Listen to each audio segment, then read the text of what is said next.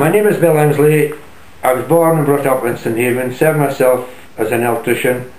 Uh, I went to Dunnottar School, I went to Mackie Academy, I started serving my time uh, as an electrician and went to evening classes.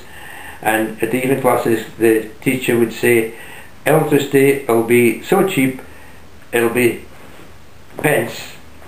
And when I started in business 50 years ago a gallon of petrol was three shillings uh, and now it's £7.50 and I say we need electricity to power our planet but I say we should have electricity generated other than generated by nuclear.